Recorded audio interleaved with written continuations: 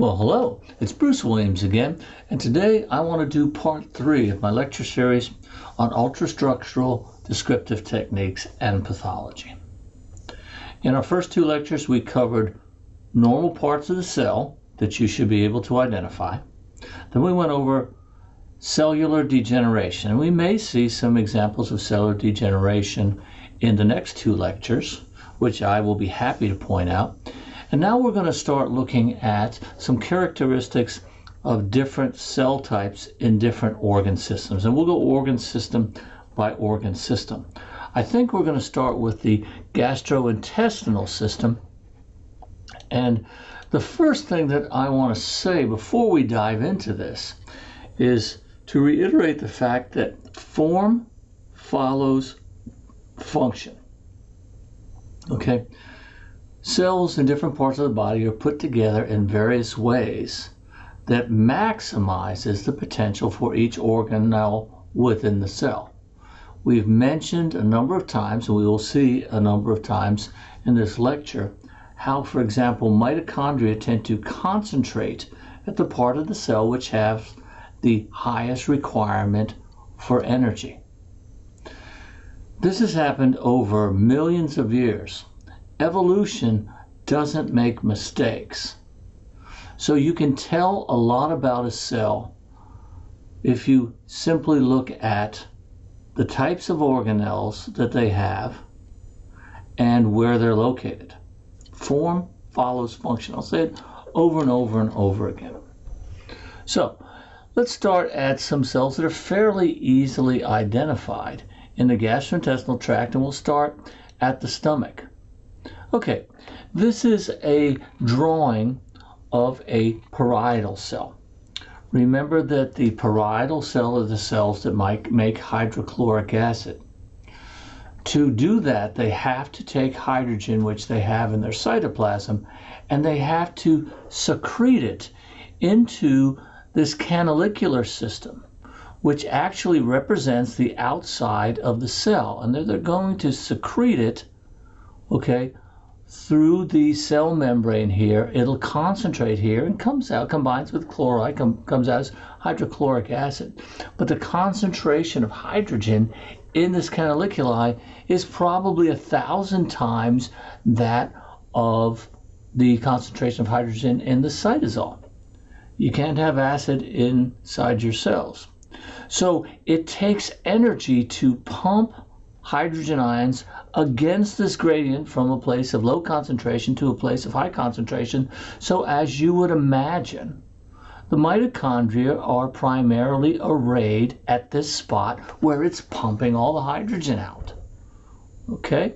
So this is a not something that we take a lot of EM of, but they're fairly characteristic. And if we look at a transmission EM of these cells. Now, I want you to ignore this helical bacteria in there because this was from a paper that was published in late 80s in VetPath, and they ignored it too, and they didn't even mention what that was. Turned out that was pretty important a couple of years later. But if we look at this cell, you can see where the little C is here. This is a cross section through the canaliculus. This is a canaliculus here, and here's a canaliculus as well. We'll go back to the diagram, and this is what you're looking at. And if you look, the mitochondria are all stuck around these canaliculi, pumping to help give energy to pump that across, pump the hydrogen across the membrane. So form follows function. The nucleus, that's sitting in the middle where it's not going to get into trouble. Okay, so that's a little bit about form follows following function, a little bit about parietal cells. And so I'm going to show you next the other primary digestive cell in the stomach, and that's the chief cell. And that is the one that produces digestive enzymes, um, like uh, pepsinogen, which will be converted, obviously, into pepsin. Now, here's a, a bunch of great things that we can talk about with that. Remember in previous lectures, we talked about secretory cells, cells that are packaging protein for export outside of the cell. And that's what this cell does. It produces pepsin and then it, and so the base of this cell is all rough endoplasmic reticulum. There's a higher magnification in the inside, but it's all rough endoplasmic reticulum. Okay, and then the apex of the cell, there's a little lumen here. The apex of the cell is taken up by these secretory granules, which are going to be extruded from the cell. Okay, so hopefully you're starting to see that form follows function. It all makes a little bit of sense. And if you were going to look at this cell, we've talked about how cells with a lot of rough endoplasmic reticulum are sort of purplish. So this part of the cell would be sort of a dark purple. There are nucleus sitting here, there's nowhere else. And, and this would probably be lighter. Lots of RER, extracellular protein. Here the secretory granules. And that's what a chief cell would look like. For completeness sake, the third major cell type in the stomach are the mucous neck cells, and those are protective. And this is sort of what you would expect from a mucous neck cell. It's got a lot of mucin granules, and they're clear. There's a lot of fat in them, and they're clear. And then eventually, when the cell degranulates, they all come out through the top. If we could get a really close look down here, I would bet you a dollar to a donut uh, that the this is all rough endoplasmic reticulum because it's secretory lipoproteins that are going to be secreted. So those are the cells of the stomach. We don't look at them very often by EM. There's not much that we need to look at ultrastructurally, but I like it because we need to start thinking about form follows function and color. Okay, shall we go a little further down in the GI tract, I want to go into the small intestine for a minute. Okay, and small intestine looks a lot like those prototypical epithelial cells I showed you in the first two lectures. Okay, at the apical part of the cell, we don't see a basement membrane, we don't see a nucleus down here. Chances are it's just down here and sitting on a basement membrane, but the apical part of the cell is microvilli. Okay, now I want you to look at something which will help you because there are a number of, of cell types which are commonly photographed by EM. And the microvilli will help you in certain cases, especially when you're in the intestine, because in the intestine, those microvilli are all the same size, just like somebody mowed them. They were mowing the grass and they're all at the same size. And this is unique to the small intestine because when you get into other cells with, with long microvilli, like the uh, renal tubules, they're all different sizes. They're up and down and all over the place, but you know you're in the intestine. Those microvilli are all the same size. Now, another clue as to where you might be in the intestine is that the longest microvilli are in the duodenum, and they tend to get shorter the farther down. So when you get to the ileum, they're a lot shorter. So, you know, obviously that's something that you'd have to have multiple sections to compare, but just keep that in mind that the farther you get into the intestine, the shorter the microvilli tend to be. Okay, we can just barely see maybe part of a tight junction here. When we prepare EM specimens, you don't always get the same cut. You don't always get, for these structures to show up in anything I showed you, you really have to get a nice cut through the center of it. So if you hit a lot of stuff tangentially, whether it's a uh, a tight junction, a desmosome, a, macrophage, uh, excuse me, a mitochondrion, you may not recognize it for what it is. You just get rid of the edge. So, you know, I don't want you to sit there and wring your hands about, oh my God, I can't find the desmosomes in these cells. You probably just didn't have the right cut. Okay, another thing that is absolutely fantastic, okay, are these pinocytotic vacuoles within the uh, within the cytoplasm. Some of them are actually smooth endoplasmic reticulum, and they're all filled with this round black material. So, what do you think that could be? We've talked about it before. This is a well preserved specimen, probably because it's so beautiful, it was preserved in glutaraldehyde or Michel's medium, and that black is going to be fat. And this is what happens after a fatty meal. I believe this was from a mouse. And the fat is transported within the SER until it is broken down. These are actively brought into the cell by pinocytotic vesicles, and you will see it in the cells. And then it's going to be processed. It will be probably attached to certain proteins and will be secreted into the bloodstream at the bottom of the cell underneath the basement membrane. So a lot of things are pointing.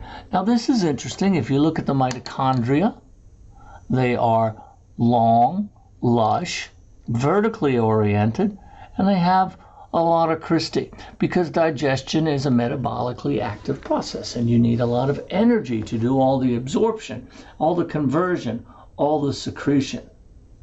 Okay? And that's about all I have to say on that. I think there's a lot of good stuff in there. Move a little farther down to the colon. Okay, also from a mouse and and look at these microvilli. They're all the same size, so we know we're in the GI tract. And we're over a Peyer's patch. And we're going to get into all the different round cells a little farther down. But what we're looking at is a modified epithelial cell here, very stubby, short microvilli. This is an M cell. M cells are basically the covering for Peyer's patches. Um, and in the Peyer's patch, you have what you would expect to have. You have a number of lymphocytes here. Not the best preparation I've ever seen. The, the chromatin's a little bit uh, pale here, but lymphocytes, and we'll talk about later, they've got a big old nucleus because they're the brains of the operation. They don't have a lot of organelles. Okay, and then down here we have a cell with a lot of secondary lysosomes. This is macrophages. This is where the antigen presentation is going to happen and a couple more lymphocytes. But so this is what a Peyer's patch would look like when you get into the ileum, you get down into the uh, uh, the large cecum or the large intestine of mammals. A lot of pathogens really like to enter the body here uh, including various forms of mycobacterium, salmonella, and other bacteria. Okay, now I want to start talking a little bit more about pink and purple. Pink and purple and how it translates to black and white. And we've we've been hitting on this already. We talked about the rough endoplasmic reticulum, how when you have this concentration of protein, then it tends to be sort of a purplish. Okay, and then you get these granules. And the granules are usually made of packaged protein, the vast majority of what we see, with the exception of uh, those that mucus, which had a lot of of uh, carbohydrate and, and, and lipid in it. But most of, most of the granules that you will encounter are, tend to be protein. And when you get crystalline protein together, it's a bright, bright pink. Okay, it's that crystalline part of the protein. And so when we look at Paneth cells in the intestine, if you can see the base of it, it tends to be a dark purple, and then you have all of these reddish granules. Most proteins tend to be very dark gray to black. And if we could get closer, if it's crystalline, they tend to be like little shards. And whether we're talking about acidophilic inclusions in mouth, mouse macrophages in the lung or antibodies, they tend to be like little shards of, of uh, a crystal somebody took and they broke it. And when you see most things in the body tend to, as we said, go to the round because it has surface tension. Crystalline protein are always like little shards. And whenever I see something that looks like that, I know, hey, that's going to be bright pink on H&E. So a lot of, a lot of ribosomes, purple, a lot of uh, crystalline protein, pink, and that gives us this sort of coloration here. We're going to see that again in just a moment.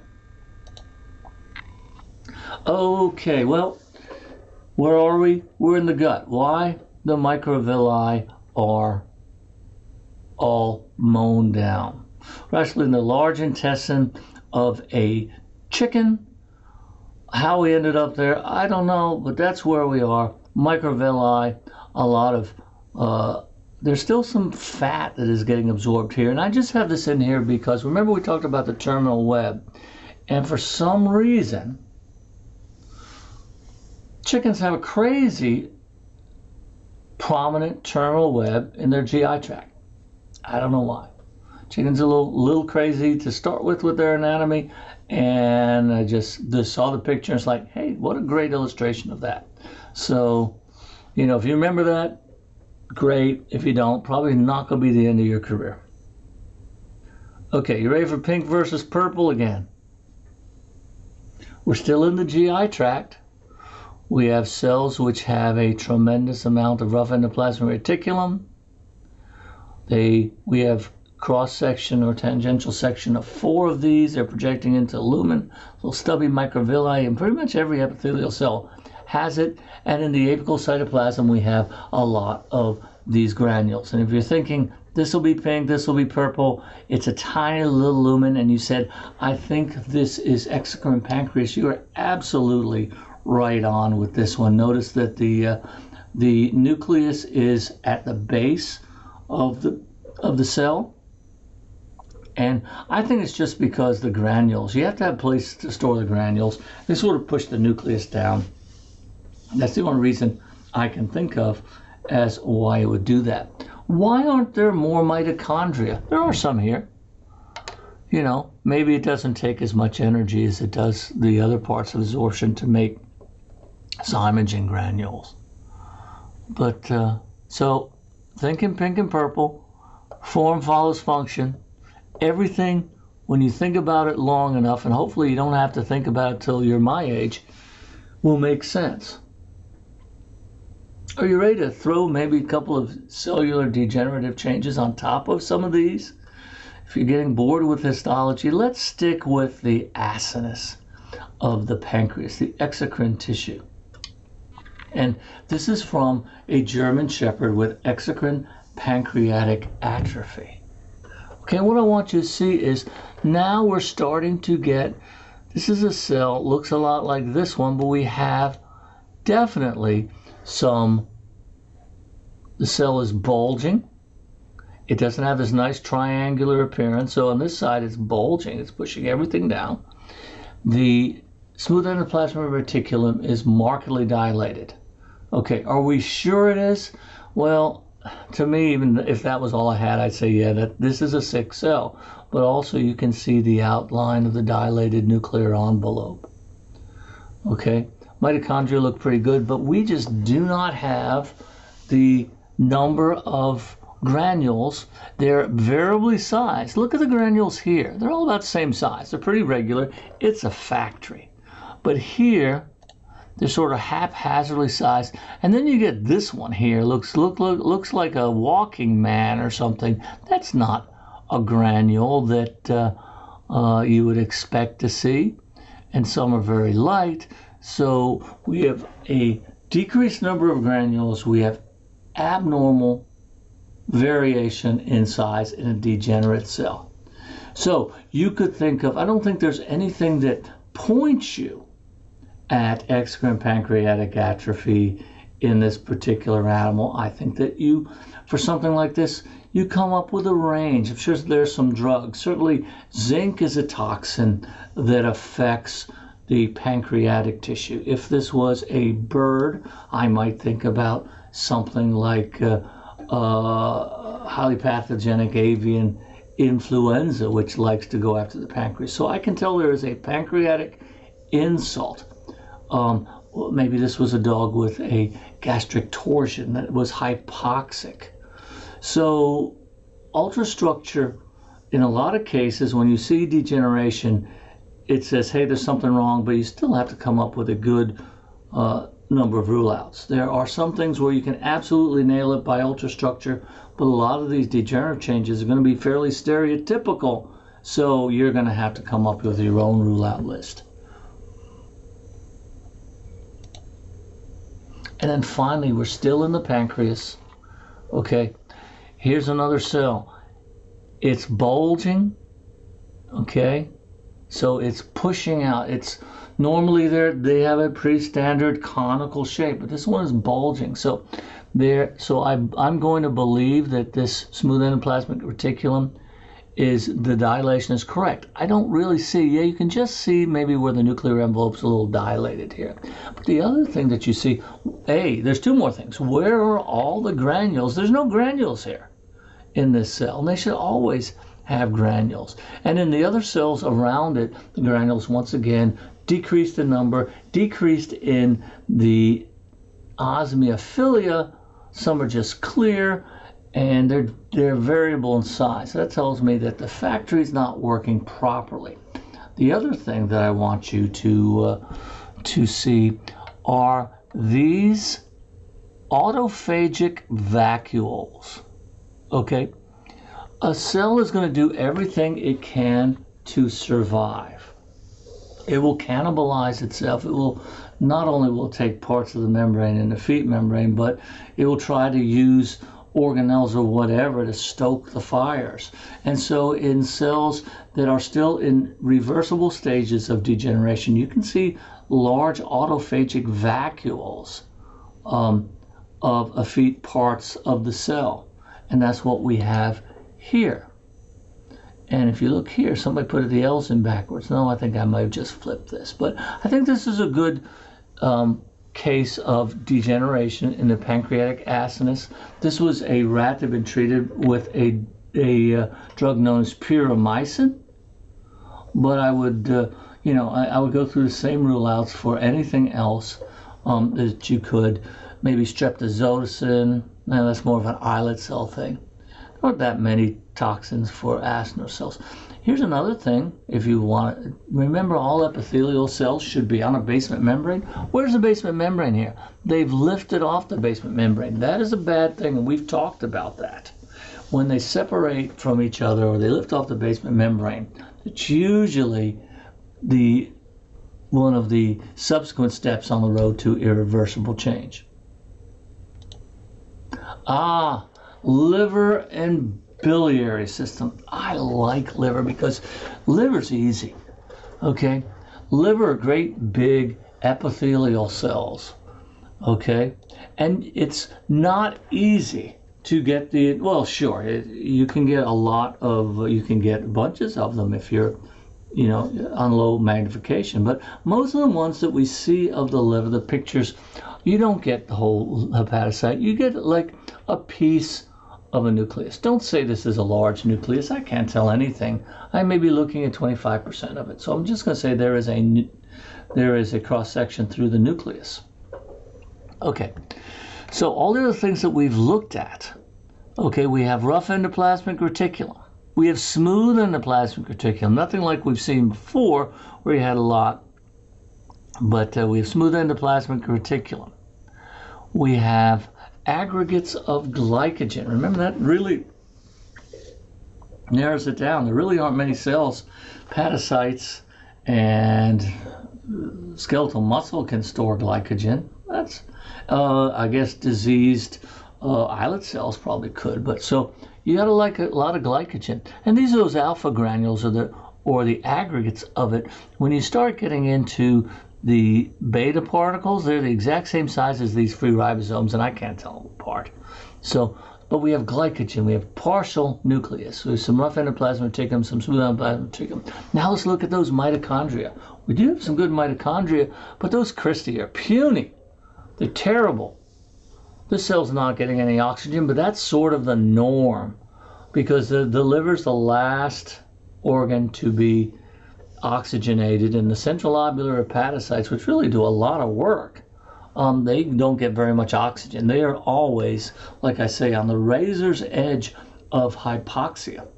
Um, so, classic liver mitochondria, and then we have these multiple desmosomes or a tight junction right here at where the hepatocytes come together at the bile canaliculus. Okay, hepatocytes are epithelial. They're going to have these little stubby microvilli where they come together at the bile canaliculus. Why do you need so many desmosomes right there? Well, my friends, bile is a corrosive thing. And you do not want bile to be leaking back out of the canaliculus in between the cells because then you're going to have a raging hepatitis. Um, so the the desmosomes, you'll always find desmosomes at the bile canaliculus, and and nothing really looks like this if you get a good cut. Okay, this one is cut just perfectly. You can see the microvilli. It's nice and round. And let me tell you, you don't often see them cut that way. You have to be prepared to look for them um, slightly cut tangentially. If you are thinking liver, look for the bile canalicula because it is at the edge of every hepatocyte. Okay, and that's what is going to prove that you're in the liver. Should we back it up a little more? And this is where we start talking about how it's just like, EM is just like having a super duper objective because this is something that you are used to looking at under your microscope maybe every day.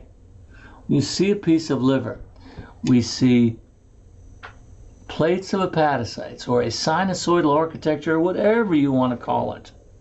Okay?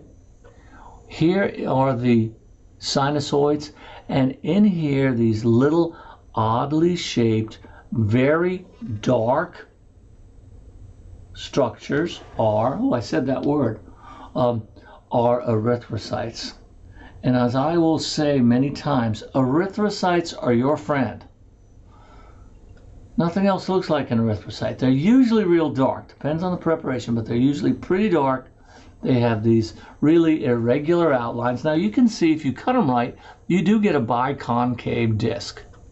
But because they're in all sorts of different orientations, you get funky looking things like this, but nothing looks like this. And so if we know that this is a capillary or sinusoid, we know that we have a sinusoidal lining, we have sinusoidal lining cells, we have the space of Disse right here before we get to the next hepatocytes.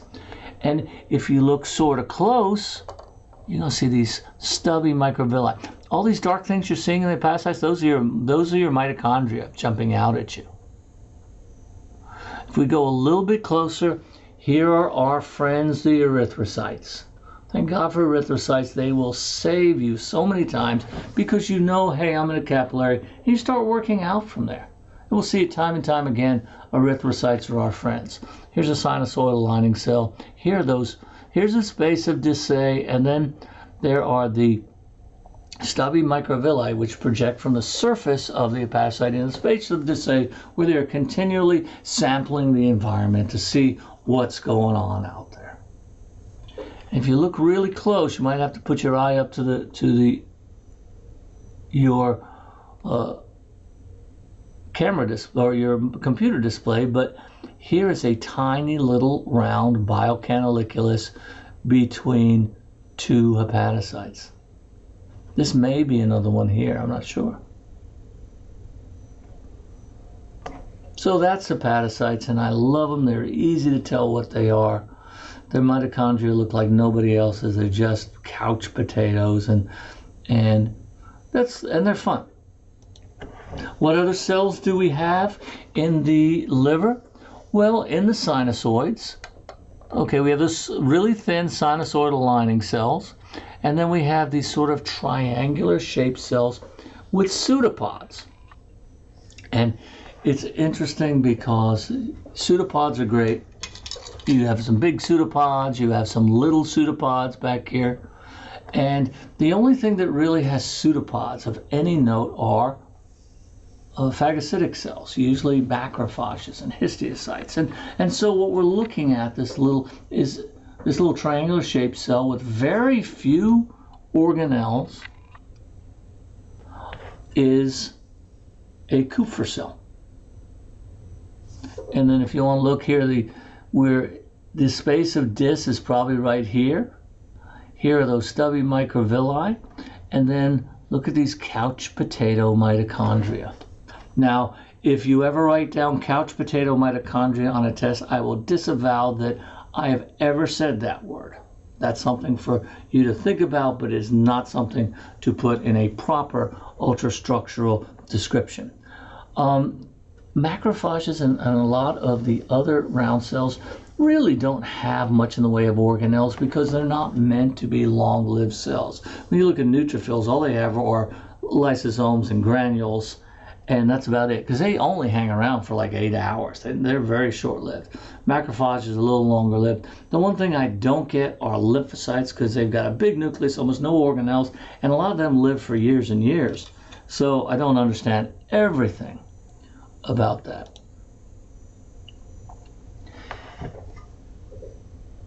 We're in the liver.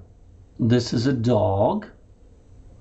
And you probably looked at the H&E here.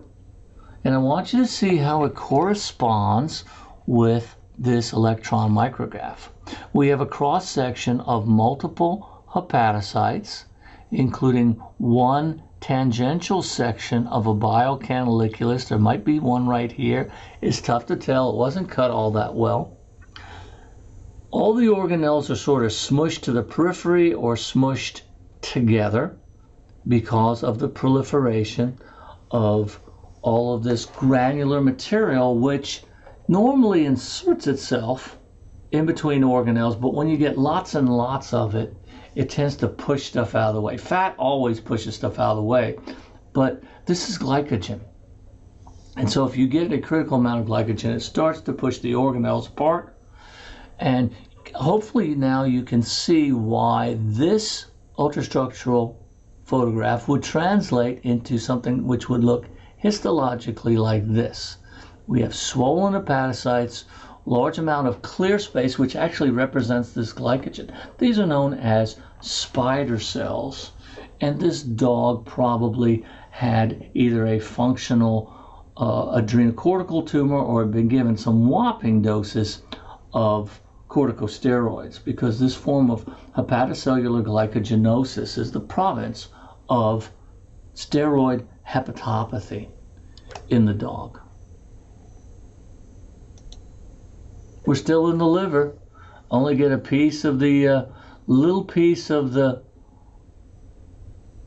of the nucleus here. I've got just a crowd of couch potato mitochondria. You know, I think you will get to the point where you just see one mitochondria and you say, I don't need to see the rest of the cell. That's going to be the liver. And it's probably going to be centrilobular because they're always on the razor's edge of hypoxia. You can say that. I don't mind if you circulate that. I like that. The razor's edge of hypoxia. But they're all being smushed out of the way. This is not glycogen.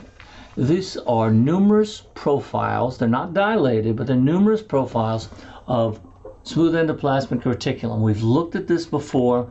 Hyperplasia, hypertrophy of the smooth endoplasmic reticulum in the liver. This means this dog has been intoxicated for a long time, not a short big blast of toxin because that kills them dead. That kills the hepatocyte, the dog dies or whatever.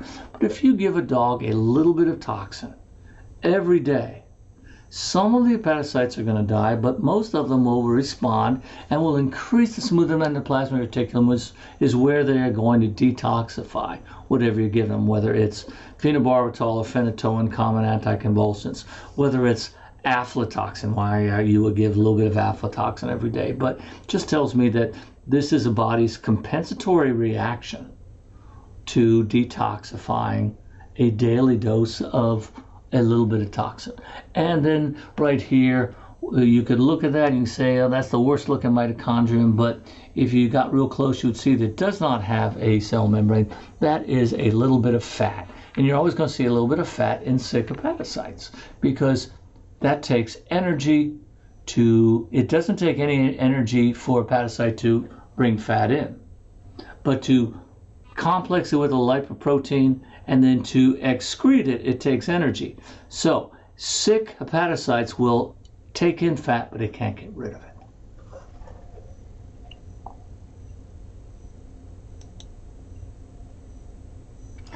Okay, just a couple. This is, I said we would have another organelle that or two that we would mention along the way. And it's this is not that important, but this was very important back in the 90s a lot of literature on this when people were first starting to develop these statins to control cholesterol. And they found that in rats with large which large amounts of cholesterol in their diet, they found these organelles which were sort of unusual. They're not phagolysosomes. It's not uh, uh, ceroid in, in them. Okay, as an aside, real quick, couch potato mitochondria. Here's your fat. Lots of smooth endoplasmic reticulum because you were giving these rats this high cholesterol, and and they develop in the presence of a high cholesterol diet a organelle called a peroxisome. And these are special lysosomes for handling lipid. And they always have this density within them.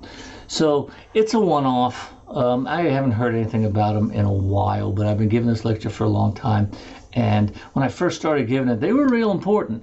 And it turns out that only rodents really develop them it wasn't a toxic lesion. It wasn't uh, didn't it wasn't evidence of cellular degeneration. It was just that, and it shows you know some of the problems that we have developing animal models for certain things. So obviously, so many people take statins. Um, and they went through the FDA, and it's it's not a problem. But if you give them to rodents, you're going to get this particular organelle turn up in large numbers. I love this picture and I love this picture and I'm going to give you a moment or two to noodle this one through by yourself. And I'm going to tell you it is tissue from a cat.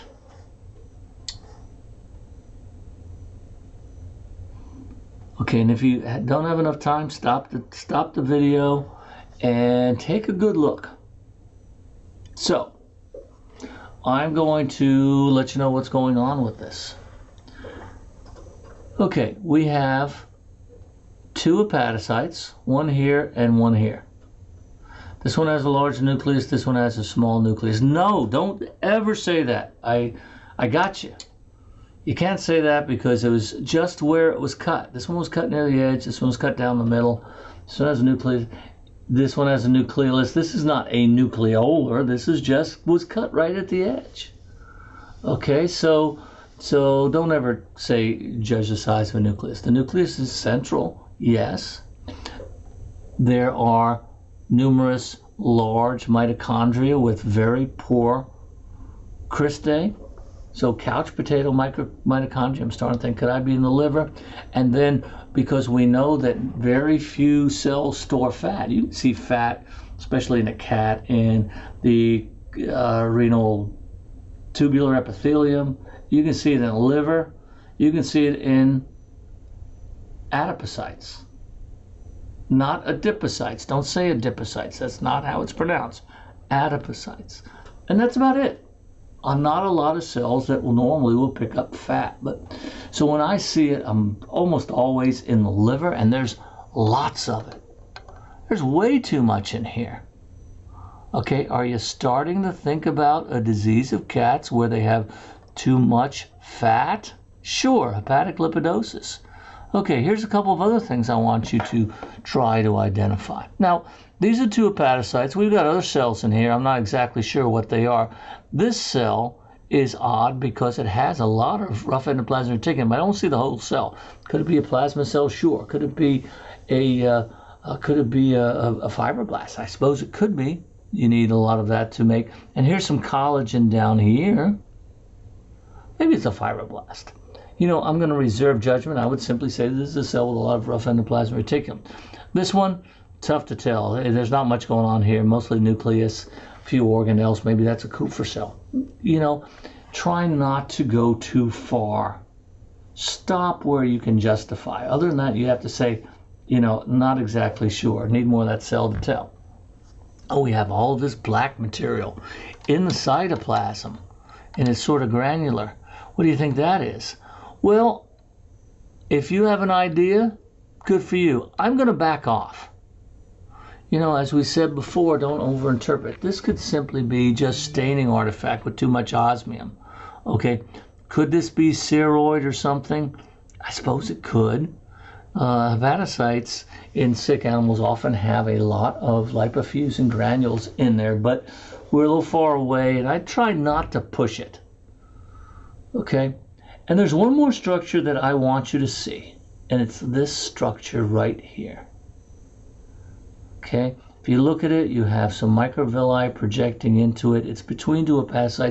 Yes, that is a dilated bile canaliculus. And you would think bile because when we see it as sort of green and brown and dense, that it would be dense on EM. It doesn't work that way. This is what bile looks like.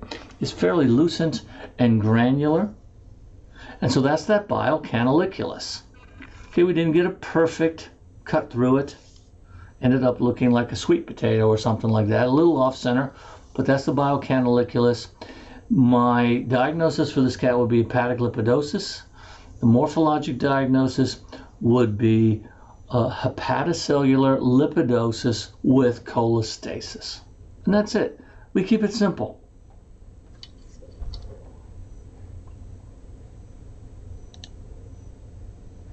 Well, one more cell, and here's our couch potato mitochondria. Here is the stubby microvilli, the edge of the hepatocyte, some smooth endoplasmic reticulum. Here's our liver cell from here to here. Then we have this cell, okay? It's sort of conical, oblong if you like. It has microvilli. There's a lumen here. You have some pretty profound uh, belt desmosomes here, or tight junctions, whatever you want to call it. There's another desmosome. Here is some filaments or some filopodia uh, redundant membrane, whatever you want to call, sort of hooks into each other for even better seal. This is biliary epithelium. Okay, biliary epithelium. All it has to do is sit there and not let bile leak back. That's why the, that's why these tight junctions are so big and and and heavy and profound. These these uh, mitochondria are sort of crazy and wimpy looking. Not much going on there there are a few other organelles. Okay, all biliary epithelium does, and this is an old concept. You know, it probably does a lot more than that. I say all it does is keep the bile from leaking into the liver. Um, it's been shown that they have they're a lot more metabolically active than that. The only thing I don't get, and maybe goes to the fact that they probably do a lot more than we think, is there's no junk chromatin. Everything is euchromatin. It's probably transcribing a lot of protein, doing whatever biliary epithelium does. Um, so that's what biliary epithelium looks like. And we're moving out of the hepatobiliary system to the system that everybody loves on EM. And we're going to cover the next two systems and then we will stop this lecture. Um, urinary and lung, I think, are some of the most commonly photographed um, we have a several pathologists work here at the JPC. They work in, in renal, but really all they do is look at glomeruli. They don't even look at the tubules. They simply focus on glomeruli, and every case that comes to them is shot by EM for EM evaluation of the glomerulus. There's a lot that goes on in the glomerulus. There are probably 50 or 60 types of glomerulonephritis when you get to the human level and the expert human level, but I'm going to break it down into two. Okay, if you want to become an expert like Dr. Cianciolo at Ohio State, that's great. You'll recognize a lot more, but let's keep it simple.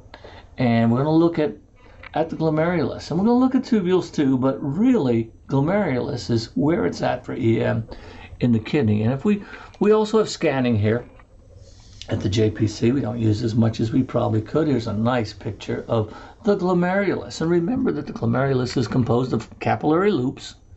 Actually, it is the organ with more blood flow, more blood vessels than any other piece of real estate in the body. It's you know, the first part is all blood vessels. So you have this knot of capillaries there.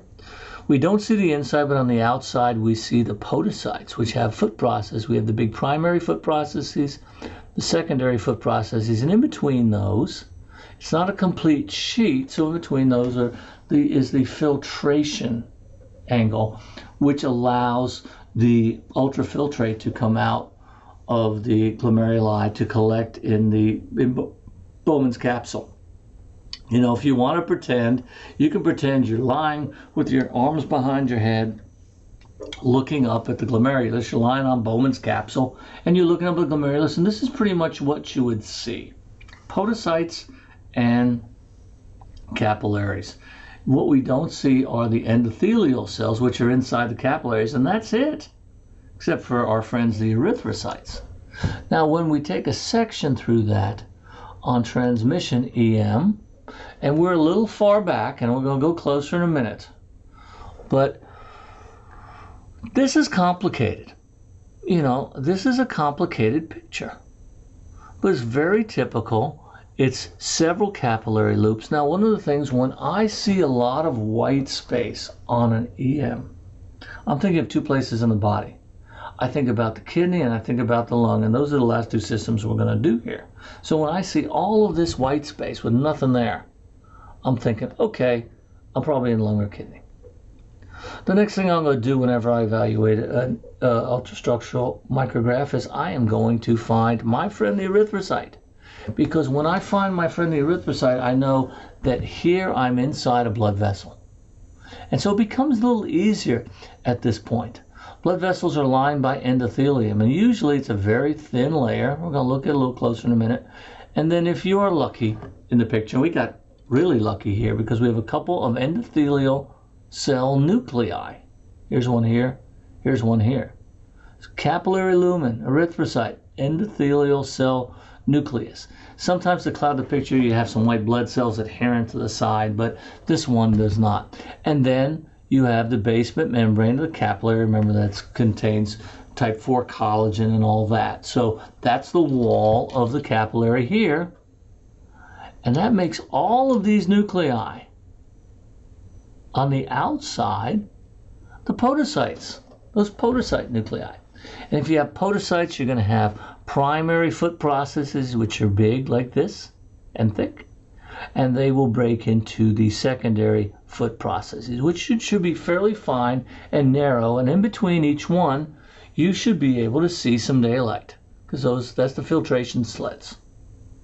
Not the filtration angle, I said that before, that's an eye. These are the filtration slits. Okay, podocytes, primary primary foot process, secondary foot processes, which are right up by the basement membrane. And this is your, these are your capillary loops. On the outside of the whole thing, you're going to see Bowman's capsule, which is largely collagen, but then you have the parietal epithelium, which is on the inside, and you'll see the nuclei there. And then in between the capillary loops, we have these cells with sort of oblong nuclei with very few organelles. Those are mesangial and they have a macrophage histiocyte type of function. So we don't expect a lot of organelles. Complicated? Yes. You see a couple of them, you figure it out pretty soon. As long as you, it's a lot more complicated if we don't have our friend the erythrocyte here. But I think you'd still figure it out after a while. And this is normal. Let's get a little closer Okay, our friend the erythrocyte is no longer here, but that's okay. I'm going to tell you it is glomerulus. I see cross sections of three capillaries. Here's one, here's two, here's three. This is the basement membrane. Okay, the basement membrane, this one doesn't look very laminar, it's more homogeneous. I think if you, you know, you imagine it, maybe you can see some trilaminar appearance, but, you know, it is the, the basement membrane. And then inside that, we have endothelial cells. Remember that endothelial cells in the kidney are discontinuous. Filtration slits are discontinuous, so the podocyte foot process is discontinuous. It's all made to push fluid out of the capillary into Bowman's capsule where it enters the renal tubules and eventually is concentrated, becomes dilute, gets concentrated again, various compounds are taken out of it by the renal tubular epithelium or secreted into it. Okay, but it's meant to be, glomeruli are meant to be leaky. Okay? The primary foot processes, the secondary foot processes here, there should be daylight in between them. They should not be you know, big and bulky and covering large amounts of room here. Okay, and here's your primary foot process here. Sorry, these are all secondary, primary, and then there's your podocyte nucleus. So here's another primary podocyte. And that is a nice, clean looking glomerulus. Okay, so when we talk about glomerulonephritis, I'm going to break it down two types. And it's a very simple breakdown. There's many different variations of this, but I like to just simply break it down from a teaching perspective of looking at glomeruli into membranous glomerulonephritis and membranoproliferative glomerulonephritis. And the very simple, oversimplified, generalized description of membranous is that you have precipitation of protein into the basement membrane you generally have antigen antibody excess in the body from some sort of chronic antigenemia, whether it's an infectious disease like heartworm disease or it's immune mediated or whatever. But you get precipitation of antigen antibody complexes. When they hit a critical amount, they start going into basement membranes all over the body. They don't zero in on the glomeruli. But remember, there's more blood vessels in your kidney than there is anywhere else in your body. So if you have that much antigen antibody complex, it's going to hit your kidneys pretty hard. And what will happen is it will deposit itself within the basement membrane. And that is membranous glomerulo or glomerulopathy or glomerulonephritis. I'm not a big fan of opathy words. But the, the glomerulus doesn't know it's there. The mesangial cells here are blissfully ignorant of the presence of it. It's often in a uh, on the exterior part of the basement membrane. They don't know, they don't get activated, they don't care, but it sits in there and this protein, these protein complexes, these intramembranous deposits, they disrupt the positive negative charges within the glomerular basement membrane. It becomes very leaky and all sorts of proteins that normally won't go through will go through. And that's membranous glomerulonephritis. And when we look at that on EM, that's exactly what you'll see. You will see that this basement membrane is probably two or three times the normal thickness because you have all of this dark deposits of antigen antibody complexes. Now, if you were just to take a bunch of kidneys and look at that, you might not pick it up you are you will have the history that this animal has severe proteinuria. It might be high high uh, hypoalbuminemic, hypoproteinemic. Um, it's leaking protein. Uh, usually, you don't just randomly take biopsies of glomeruli. So there's usually a history. And what you're looking at is, hey, am I going to find amyloid? Am I going to find glomerulonephritis being the two biggest causes? Um, and this is just is there a cause for this particular one? I don't know. It could be anything. It could be Lyme disease. It could be heartworm disease. It could be uh, uh, Shih Tzus get it for not Shih Tzus, but Shar Peis get it, a lot of it for no apparent reason. Uh, could be immune against certain components of collagen in the basement membrane or whatever. But you can see these aggregates of protein within the basement membrane. And it's wrecking that basement membrane and it's just allowing the protein to go out where normally it would not. Here's a picture of what actually is Lyme disease. And, and you can see this is, we don't have a, any erythrocytes, which are our friends. And this dark, bad looking cell is a very sick looking. that's a terrible uh, way to describe, but it is it is dark. It is a degenerate endothelial cell, which lines the capillary. Remember how that basement membrane is supposed to be thin and sort of homogeneous. Okay, it goes from here to here, or maybe here to here because here are podocytes. Look how thick. This is is a split uh, basement membrane. And then our protein has started to aggregate. We don't have a lot of it, but here's a intramembranous aggregate of protein. But look how how thick and that is a, not a very happy looking basement membrane. But the other thing that is really going to clue you in is when I see membranous glomerulopathy glomerulonephritis, I look for two things. I look for expansion of the basement membrane by protein deposits, and I look for fusion of the foot processes. Okay. So remember we said that we, we should be able to see daylight in between and no another secondary foot process should cover too much. Okay, and this looks pretty good here. Look at these. Isn't that nice? Here's your primary foot process here, here, up in here. And these look very nice and, and, and quite happy. And then we get over here and, and they start to take up large areas. Look at this one. And this one. That's what we call fo- fusion of podocyte foot process. And when you see the second secondary foot process fused together and covering up a lot too much real estate, then you that that is additional information which will lead you to a diagnosis of glomerulonephritis. It could be membranous, it could be membranoproliferative, and I'll show you what that means in a little.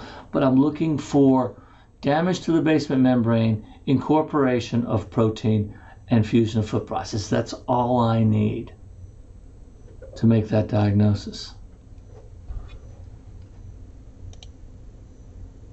This is an old, picture of a cheetah, a cheetah with uh, glomerulonephritis, and and the basement membrane actually doesn't look too bad here. There's some splitting here, some plexiform change. It may be overall too thick here. A couple of of erythrocytes, which are are very close together. Um, here's an endothelial cell. You can see the fenestrations in the endothelium. All that looks nice.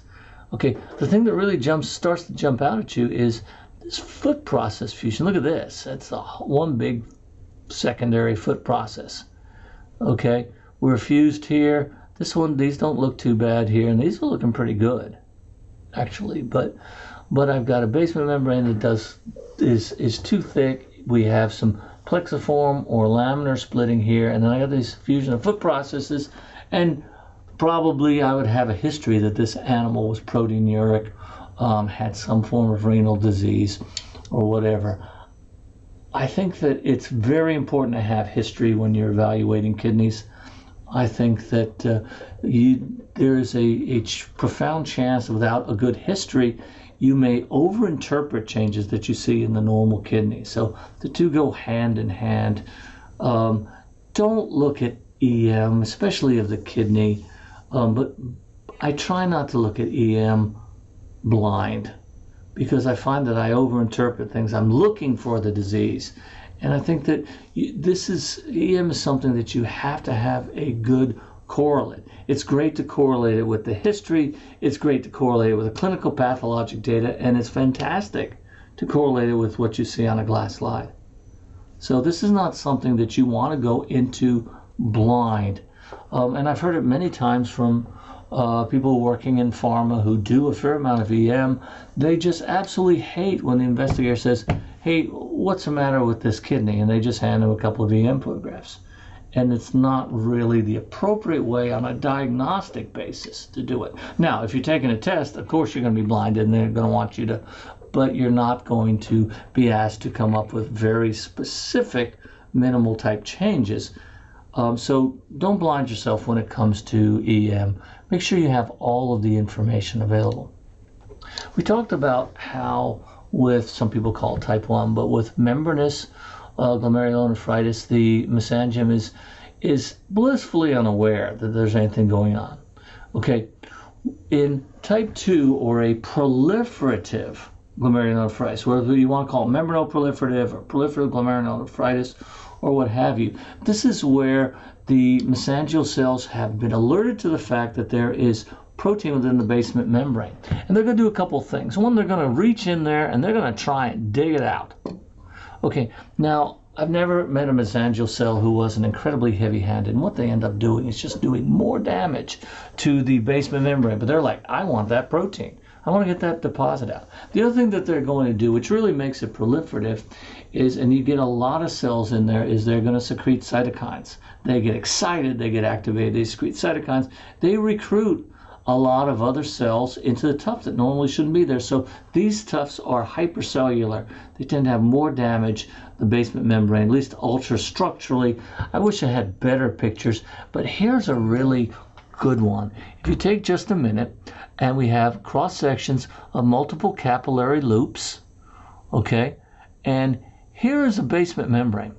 This is the basement membrane, and you can see that the mesangial cell, these are all pseudopods. These are all pseudopods of a mesangial cell. We can't see the mesangium, but what we're seeing is those mesangial cells reaching in and splitting up that basement membrane to get these little bits of protein, these little round bits of protein out. They're like snacks, and they're reaching in to get the snacks. And what they're really going to do is they're going to do a lot more damage than they do good.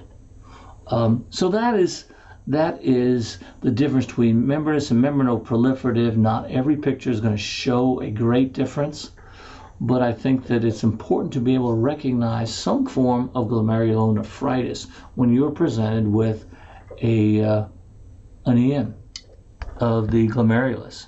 Now let's leave the glomerulus for just a minute, and we want to look at the renal tubular epithelium, and and this will be, uh, you know, we've talked about some of these things, and this is renal tubular epithelium. Uh, we've we talked earlier about how the uh, the mitochondria are extremely robust, and these are long. They're usually basally oriented because the biggest need for ATP in the renal tubular epithelium is at the basement where they are they are secreting stuff back into the bloodstream. They're pushing it through the basement membrane, often against the concentration gradient. So you really get these beautiful, long, lush, basally oriented mitochondria. The other thing I want you to notice to help you tell where you are is look at the microvilli.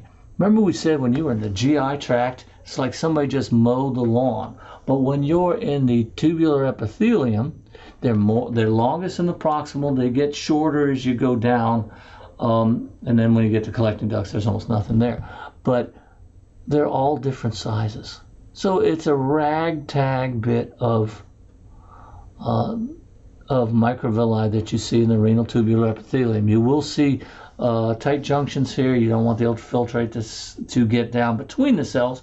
You want it to have to pass through the cells so they can modify it as necessary. We don't have an erythrocyte. This is going to be a capillary here. These might be some some white blood cells that are circulating.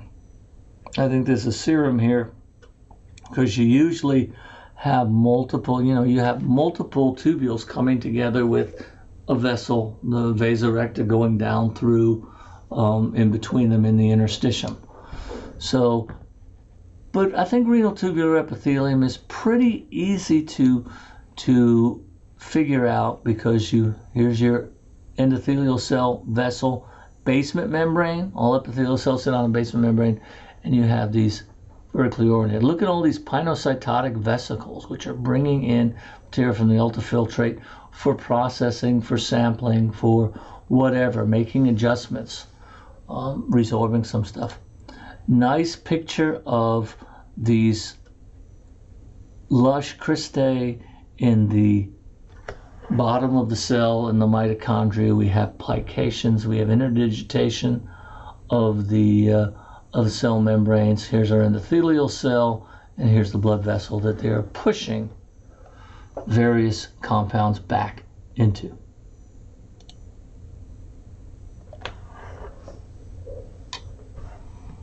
Okay. A couple of things here. This is tissue from a rat. And not every time you're going to have the absolutely beautiful cut through section of the microvilli. Sometimes it's tangential. Okay, so you have to look really carefully and you have to look at these microvilli, and they just have this loosey goosey border, but you do have the really lush uh, mitochondria.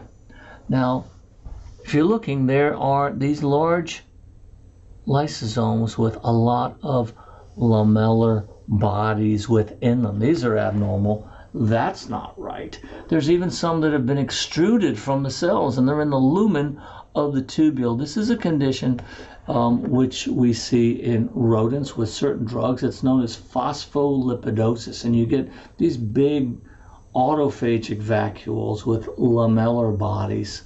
Um, so that's phospholipidosis. I, I put it in there just so you could see the odd, the you know undulant microvilli. So not everything's going to be a perfect picture when you're looking at bile canaliculi, when you're looking at microvilli. If you're a little bit off, so you have to factor that into your thinking and identification.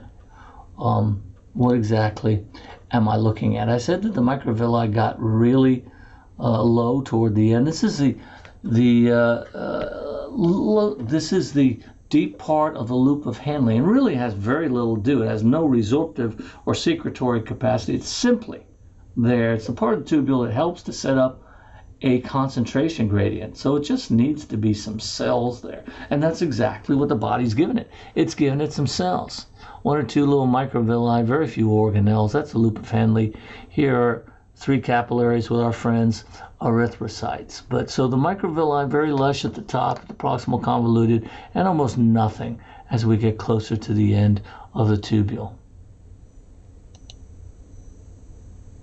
And somehow I just put in another phospholipidosis picture. I threw this one in for a couple of reasons. One, I know you get tired of normal. Even I get tired of normal. And so I want to throw in one more little pathogenic thing. And it's fun, and we mentioned this before. This is the proximal tubular epithelial cell of uh, a dog that had been uh, poisoned with lead. And you have these beautiful, very characteristic lead inclusions. You know that if you see that in a dog, you can you can see these. These would be eosinophilic intranuclear inclusions in a number of epithelial cells, especially the kidney uh, in a, a, dog with lead. They don't usually have a little L right in the middle of them, but uh, and it reminds me of iron filings. There are a lot of when I was growing up as a child, you would have a uh, you would have a game where they would give you a, a little plastic thing that had a man's face, and it had iron filings in it, and you had a magnet and you would run the magnet underneath it to give him hair or a mustache or a beard or whatever. And it looked just like this. I'm sure very few of you ever had a chance to to uh, play with Harry Herman or whatever they called him, but it reminds me. It looked it looked a lot like this. So I never never missed a lead inclusion because it just reminded me of iron filings. Very dense, has this sort of filigree around the outside. But the other thing I want you to see, especially in this particular picture, is where the microvilli. Here they are. That doesn't make any sense. That's not on the surface of anything. It's not round. They're just sort of in there in the middle of nowhere. But there they are because we got a weird tangential section. Okay, we have a lot of secondary lysosomes here because, and how do I know that instead of just saying, oh, that's trash? Well, I'll tell you. I'll tell you why I do. Um, these are obviously round. If I got a little closer, I'd see a membrane. Okay, they have granules like we would expect, and this is a cell that's intoxicated. We're expecting it to start resorbing parts of itself.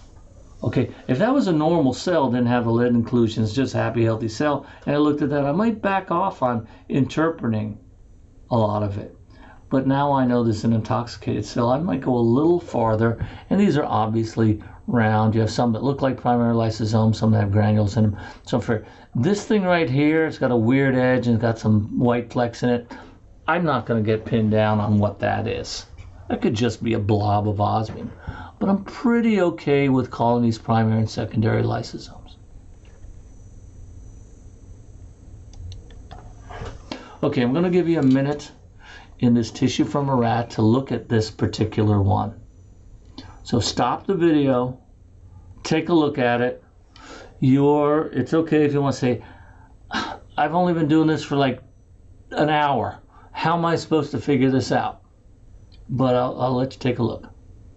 It's all there. It all makes sense once you sort of get a grasp of it. Okay, so we are looking at tissue from a rat.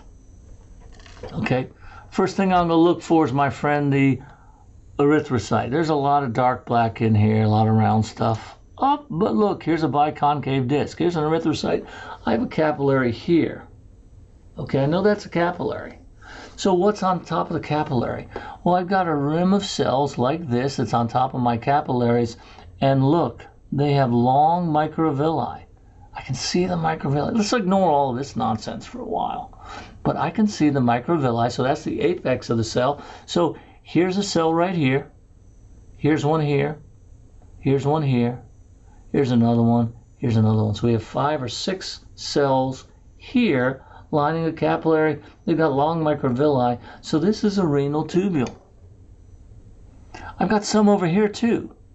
So we might have the whole tubule here, but what we have in the middle is a bunch of trash. Look at all this stuff. I'm, I, I use the term trash sort of lightly because I want you to see something here. Okay, this material is the same as this material which is in the cells. Now we've thought about what is black or what is really dark. Okay? And we said fat is dark. And that's a good thought. Okay, proximal convoluted tubules in some species, like cats especially, or animals that might have diabetes or some form of endocrinopathy, can take up fat. That's okay. Um, but that's there's another clue here that says that this is not fat. And if we look in the lumen, we have same, same material, but we see straight lines. And straight lines are cool because it tells me that this is crystalline protein that's been fragmented. Okay, it's been cracked. Okay, and so when you crack it, you get straight lines. Nature doesn't make straight lines, but when you get crystalline protein, you often will get these straight lines. And so I've got a lot of protein. I have protein in the lumen and I have protein within the cells. Now you have to know a little bit about rats, and, and rats, especially male rats, will develop a, uh, a protein within the cells known as alpha 2 macroglobulin. The disease is known as hyaline droplet nephropathy. You can see it in male rats of certain strains. You can also see uh, pro- protein droplets in female rodents, especially mice with the histiocytic sarcoma or something like that. But knowing that this was a rat, I'm going to go for hyaline. Here are the hyaline droplets. Here's the hyaline droplet nephropathy. Got some lines. here. So this is crystalline protein. We have crystalline protein in the lumen. This right here is a little different. It's a little lighter. This might be like uh, a protein cast in the lumen or something like this, but it's those straight lines that say, tell me, think about crystalline protein. Okay, it's fun. This is great. And when you think about it, eventually it starts to make sense. It might be a little overwhelming right now, and this is really confusing. But you take what you're given especially if you're in a testing situation, they're going to give you all the information that they can. So you take what you're given and you noodle it out. Okay? You have to work at it like a puzzle. You're not going to look at most of the EMs and say, there's not that aha moment. There's a little aha moment here and a little aha moment. And you try and put it together to make a decent story. And obviously, this is something that you don't want to some to walk up and somebody hands you this and expects you to come up with alpha 2 macroglobulinemia or hyaline droplet nephropathy. But obviously, if you had a slide that goes with it, and the renal epithelium has these big pink globules in it, it's going to be a much better day. And here's one that I just wanted to uh, to show you. When we talk about the mucosa of the urinary bladder, I don't know if I've ever looked at urinary bladder under the microscope, but but they have something called umbrella cells, and, in certain species it, becomes very profound, um, and you get sort of these little tiles on top of these cells, and what happens is when the bladder is stretched maximally, these tiles come together and they form sort of these mosaics in the apical cytoplasm. And it's like tiling it's like linoleum and it protects against you know urine seeping down into the mucosa to a certain extent. So that's sort of fun it's not a big deal.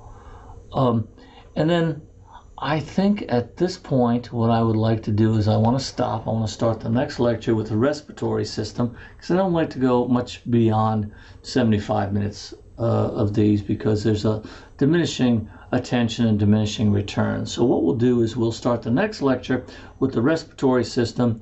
Uh, it's a little complex like the urinary system, but it can be a lot of fun when you start looking at these sort of crazy EMs. So with that, I'm going to say goodbye for the day. I, as always, wish you good health. I wish you happiness. I want everybody to be safe, and I will see you next time.